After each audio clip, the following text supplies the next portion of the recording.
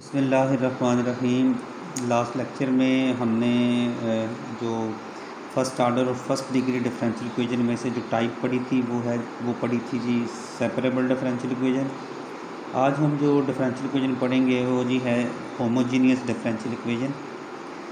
Homogeneous differential equation क्या है जी? A first order differential equation d y by d x equal to f of x y is equal to is set to be a homogeneous if f is homogeneous function of any degree तो हम इस जो first equation है, इस equation number हम one कह लें तो इस वन को हम लिख सकते हैं।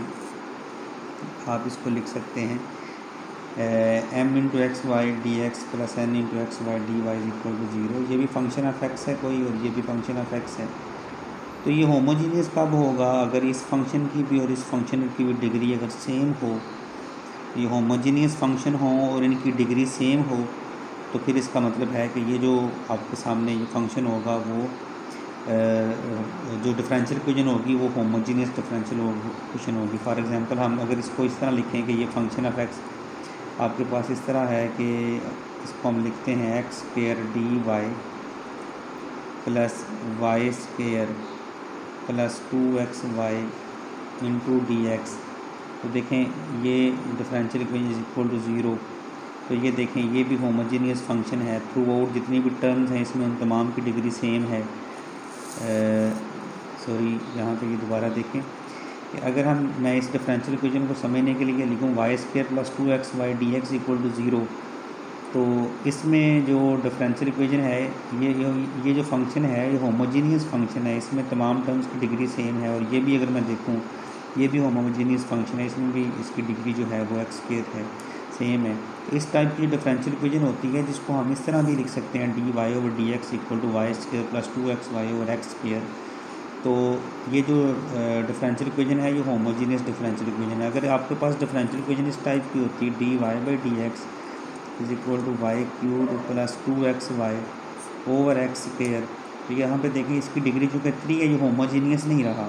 अगर ये होमोजीनियस फ़ंक्शन नहीं तो इसका मतलब है, ये भी होमोजीनियस फ़ंक्शन हो और ये भी होमोजीनियस फ़ंक्शन हो और दोनों की डिग्री सेम होनी चाहिए तो फिर वो डिफरेंशियल इक्वेशन जो है वो आपके पास होमोजीनियस डिफरेंशियल इक्वेशन होती है।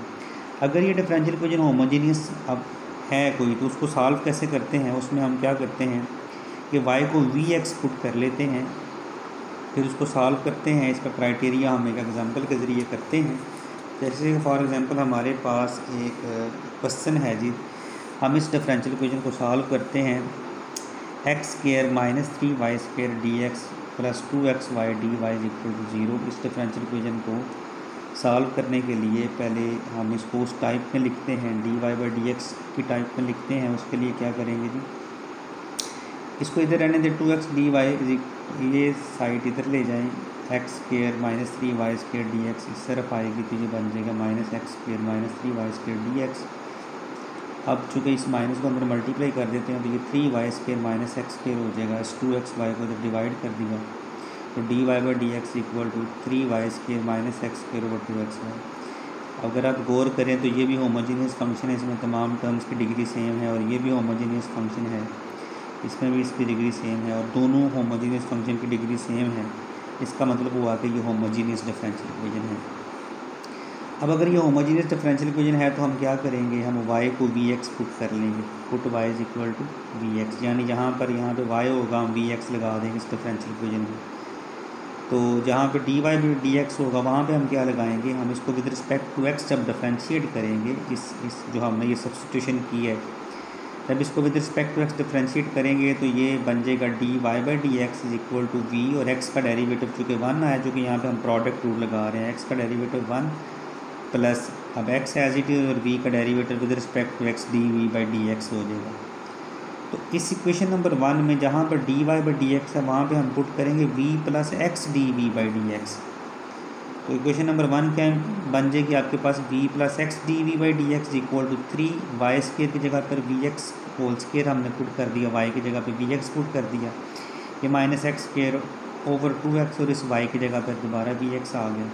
इसको सिंप्लीफाई किया तो ये बनेगा three v square x square minus x square over two x square v अब एक्स स्केयर इधर से हमने कॉमन निकाला तो ये बनेगा three v square minus one three v square minus one over two x square v अब इस एक्स स्केयर को कैंसिल कर दें तो आपके पास पीछे बचेगा three v square minus one over two v ये जो वी है, इसको इस साइड इस साइड पे लेके आए माइनस वी हो जाएगा, इस कैल्शियम ले टू वी आएगा तो ये three v square minus one minus v into two v three v square minus one minus two v square over two v जो कि आपके पास बन जाएगा is equal to v square minus one over two v यानी x d v by d x equal to v square minus one over two v हो जाएगा. अब इसको हम नेक्स्ट देखें जी आपके पास। यदि x d v over d x equal to v square minus one over two v अब क्या करें? इस टू वी को इधर मल्टीप्लाई करें। तो ये टू वी और इस वी स्केयर माइनस वन को डिवाइड करें तो over v square minus one और ये डी वी इधर साथ रहेगा इज़ इक्वल टू ये डी एक्स इधर मल्टीप्लाई होकर और उधर एक्स को डिवाइड कर दें। डी एक्स ओवर एक्स हमने क्या किया? जब हमने होमोजीनियस इक्वेशन में वाई को वी एक्स पुट किया तो फिर क्या हुआ वो जो डिफरेंशियल इक्वेशन है, वो सेपरेबल डिफरेंशियल इक्वेशन में कन्वर्ट होगी। अब सेपरेबल डिफरेंशियल इक्वेशन में कन्वर्ट करने के बाद इसको उसी मेथड से सॉल्व करेंगे जिस तरह हमने सेपरेबल डिफरेंशियल इक्वेशन को सॉल्व किया था। या हमने वेरिएबल सेपरेट कर लिए इधर। जब इधर वेरिएबल सेपरेट किए तो हम अब इसकी इंटीग्रेट करें, इसको इंटीग्रेट करेंगे तो इंटीग्रेट करेंगे तो आपके पास चूँकि इसका मुकम्मल डेरिवेटिव इधर मौजूद है तो हम इसका इंटीग्रेट करेंगे log of phi square minus one is equal to log of x plus log of c ये लॉग ऑफ़ सी एक्स कर दें और ये लॉग ऑफ़ वी स्केयर की जगह पर अब आपने पुट किया था y is equal to v x अब आपने यहाँ से वी की वैल्यू निकालनी है तो वाई ओवर एक्स अब दोबारा अगेन बैक सब्सटीट्यूशन करेंगे। तो v की जगह पे अब y ओवर x लगाएँगे तो ये वी स्केयर की जगह पे y square over x square minus one आ गया।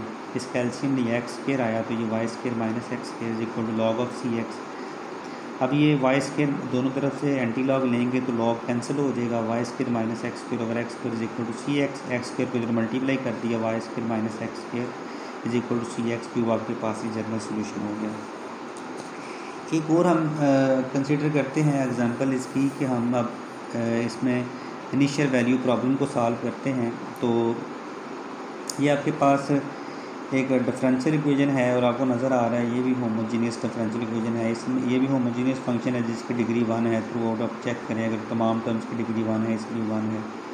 तो ये होमोजीनियस डिफरेंशियल इक्वेशन होगी तो आप लिखेंगे it is homogeneous differential equation homogeneous differential equation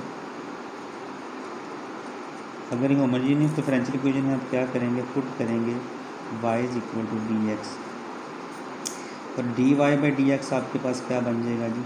ये v, x का डेरिवेटिव वन प्लस अब x एज इट इज़ और v का derivative with respect to x d v by d x इसे हम इक्वेशन नंबर वन कह लेते हैं। अब आपके पास ये जो इक्वेशन वन है, वो क्या बन जाएगी?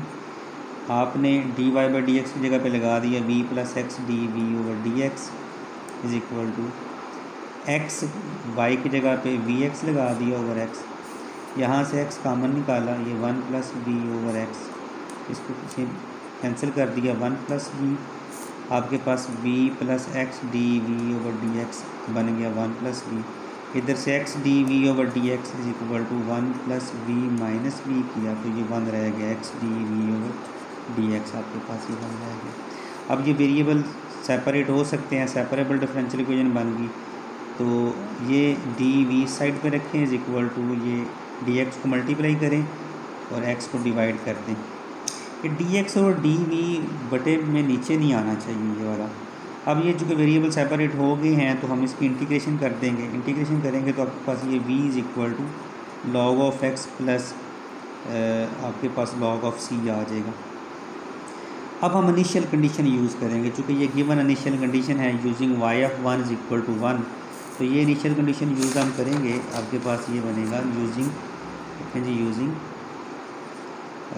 y of one is equal to one इसका मतलब है कि पुट करेंगे एक्स को वन और वाई को भी वन पुट कर लेंगे इस इक्वेशन नंबर टू में इन टू जब इधर पुट करेंगे तो आपके पास ये क्या बन जाएगा? वी पहले हम क्या करेंगे? वी की जगह पे वो वैल्यू लगा लेंगे।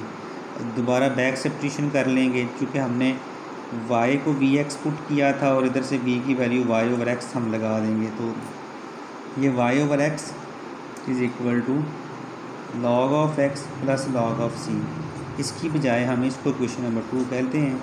अब ये इनिशियल कंडीशन यूज़ करते हैं कि हम एक्स को वन पुट करते हैं और वाई को भी वन पुट कर लेते हैं क्वेश्चन नंबर टू में। जब हमने एक्स को वन और वाई को भी वन पुट कर लिया क्वेश्चन नंबर टू में तो अब देखें कि हम वाई की जगह पे वन और एक्स की जगह पे भी वन लगा दिया।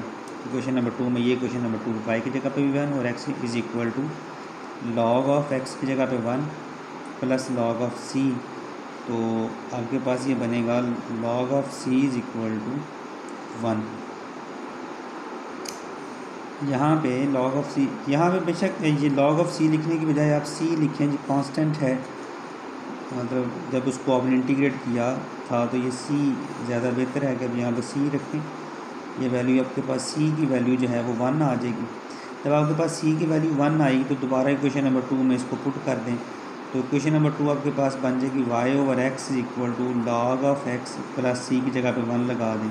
तो यहाँ से y is equal to x log of x plus x आपके पास ये जो सोल्यूशन बनेगा, ये रिक्वायर्ड पर्टिकुलर सोल्यूशन बन जाएगा आपके पास। तो ये डिफरेंशियल इक्वेशन भी बड़ी सिंपल और आसान है। आप, मुझे उम्मीद है कि आप